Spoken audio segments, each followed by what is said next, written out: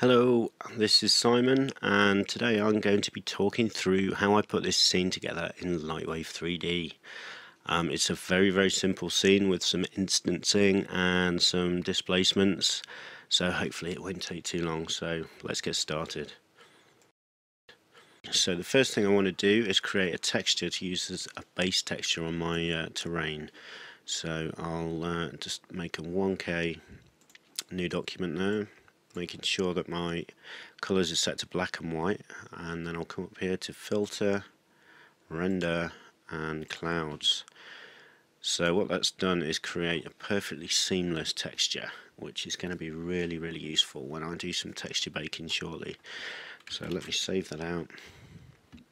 Uh, I've already saved this before but we'll save a new version. This will be clouds 1 okay.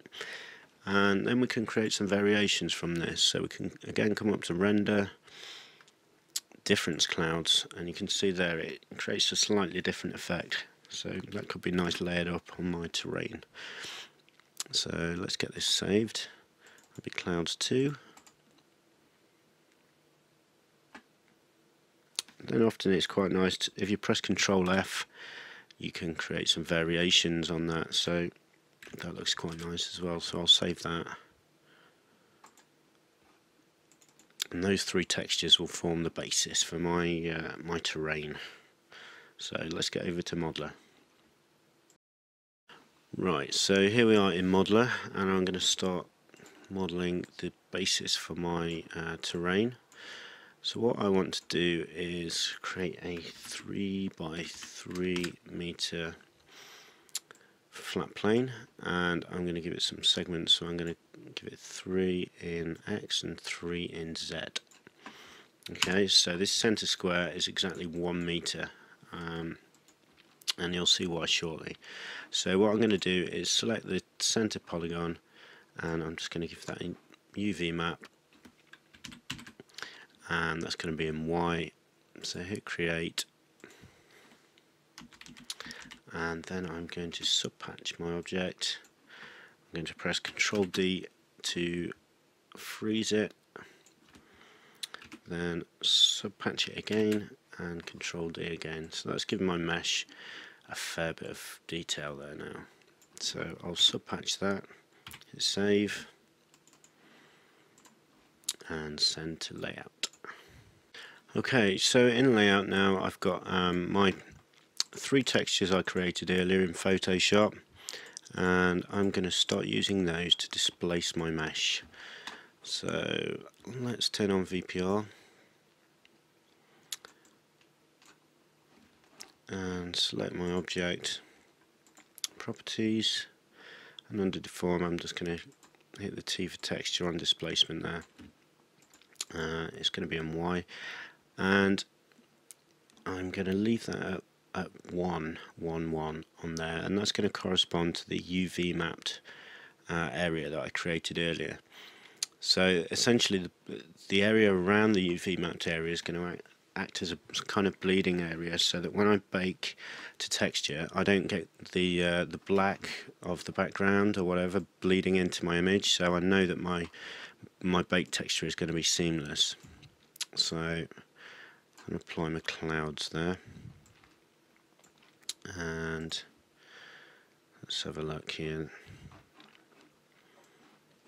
It's obviously way too strong so let's point two. We'll give that some smoothing as well.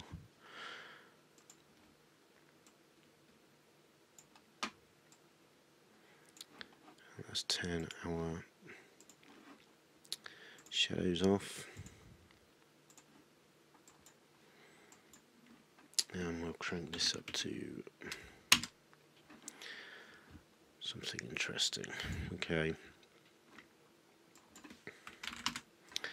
So you can see there already you've got kind of a nice sort of terrain looking thing happening already.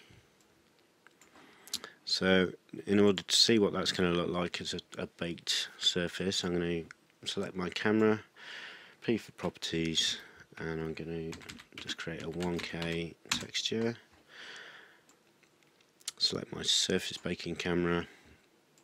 So that's going to be my terrain mesh my UV uh, map that I created. If I hit 6 now you'll see this is this is what we're going to bake. Um, because we know that the that the clouds textures are perfectly repeatable we know that this is going to be repeatable as well. So let's just set this to be uh, one meter. We know, we know we're going to get everything covered in that. Okay. Um, right so let's close this.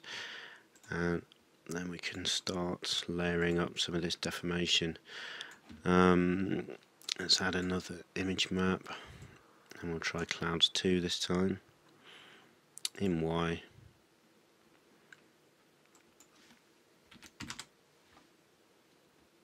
and I'm going to make that additive. It's going on top of there.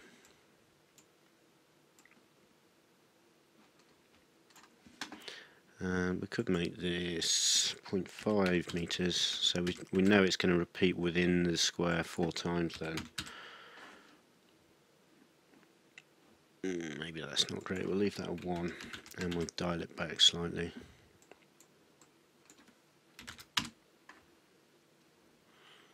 something like that is fine. Okay that'll do for now. Um, let's start applying some colour. So again we're going to use our planar map in Y and we'll use our clouds. And if I add a layer and gradient we'll make this a sort of mud kind of colour I don't know, something like that. And we can use our alpha on that. So that starts to give us some colour variation there. And obviously the base colour here is grey that you can see coming through, so we can make this a more natural kind of green colour. Then we can add some more of these layers in start building this up. Let's try clouds 2 now.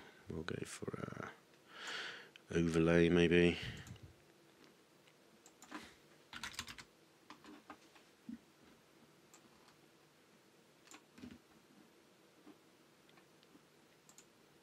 So you can see, you can start to get some interesting effects quite quickly and you see how well it repeats as well.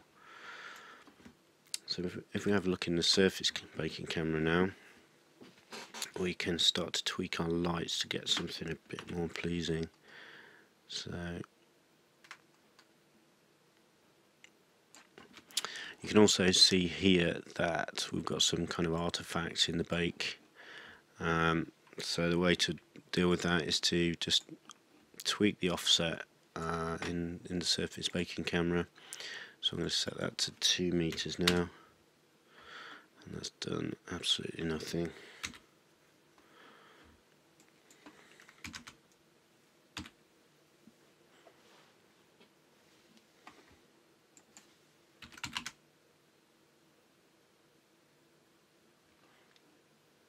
Looked like it was perhaps too high.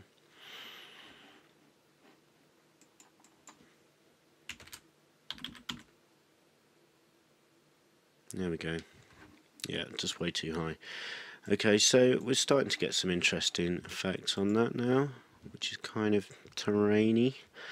So what we can do is start to perhaps add some specular maybe use one of the uh, one of the cloud maps to control the specular and glossiness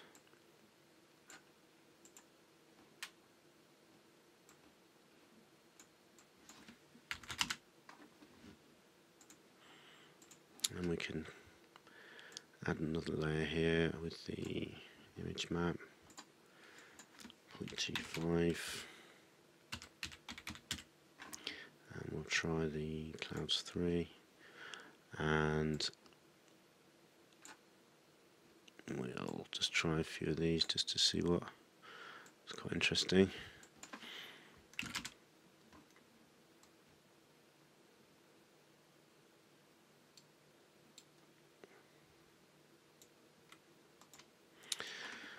Okay, so you can keep tweaking till your heart's content till you've got something that's uh, that's going to be nice. So I'll just for now just render this out and we'll get moving with the next stage of the tutorial. Okay, so here's my new render. Um, it might look a little bit different from the previous one, uh, thanks to a nice crash there, but uh, it's probably because I'm recording. Um, so I'm going to save this out and we can start using this texture on on main terrain. Right, so here we are back in Modeler and I've subdivided my mesh. Uh, I'm now about, what's this, 26,000 polys. So I'm going to use a neat little tool um, for um, displacing meshes in Modeler. Um, let's go modify, move, and I'm going to click this use texture. I'll select my texture and I'm going to load my image. I think it was terrain bake. And just make sure that my grid snaps off. Then as I slide, making sure you need to put it in white. Okay, so as I slide up, get this quite nice texture effect. This looks pretty neat. Um, so I bring up my surface editor now. When I apply, remember leaving this at 111, uh, when I apply that in Y, get a really nifty effect with our baked texture repeating perfectly. So let's just dial that back a bit and save and we'll send that over to layout. Okay so here we've got my scene. Um, this is the the baked displacement as well as the baked texture. Um, you can see I've loaded in a grass mesh this was from the uh, advanced placement content, um, great plugin. Um, so what I'm going to do now is I'm going to start displacing this again. So um, if we bring up my displacement, you can see there I've just got a turbulence. This is pretty much default settings in Y. Uh, I'll just turn this on and you can see Got some quite interesting effects already there. Which looks like a really nice sort of hillside or, whatever. I could actually dial back the uh, the scale on that 0.7 maybe.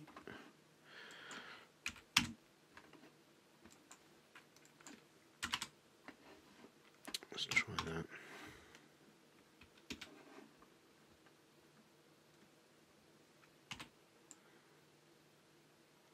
Yeah, I'm just dialing back the scale just to see if it sort of flattens it out a little bit. Something like that is quite nice.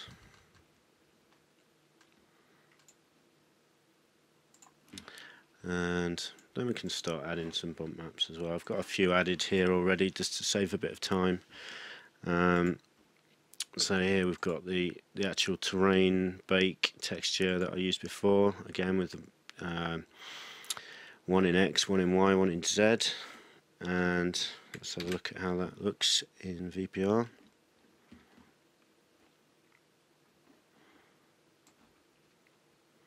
And then I just added a crumple just to break that surface up a little bit.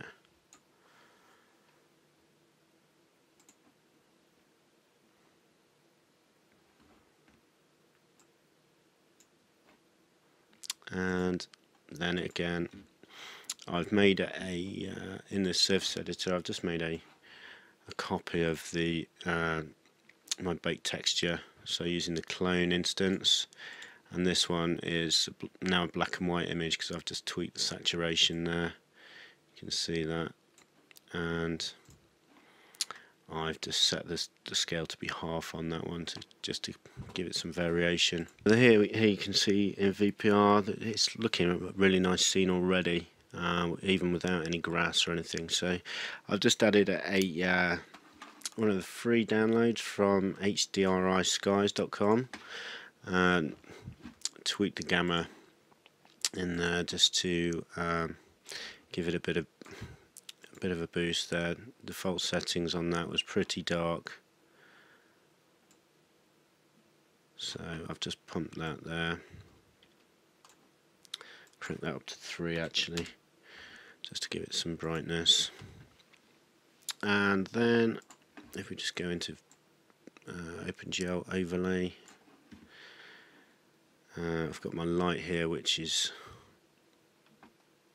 kind of match to the direction of the, uh, the sun there. Okay, so let's have a look at adding some instances to the scene. I've got um, literally two objects in here. We've got the terrain and then we've got some wild grass. Um, so I'm going to select my train, terrain model and I'm going to add an instance generator.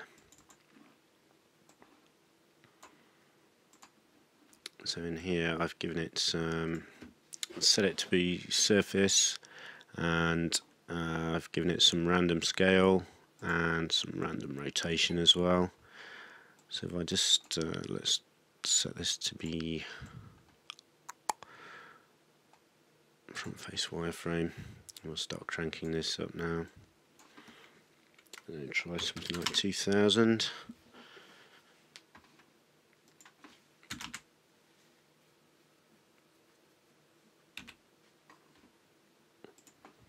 going to chug a little bit now.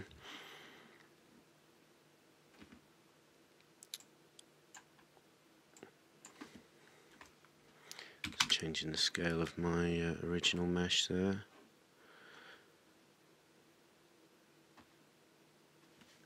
Let's get VPR on, let's see what that's looking like. So that's pretty much it really. Um, obviously tweaking the settings for the uh, the scales of the the objects and so on and I did a little bit of color correction in Photoshop and added a, a lens flare. But you can see how simple it is just to get something going in Lightwave which is one of the things I like about it. Um, it's pretty quick and dirty but you can create some great stuff. Okay cheers guys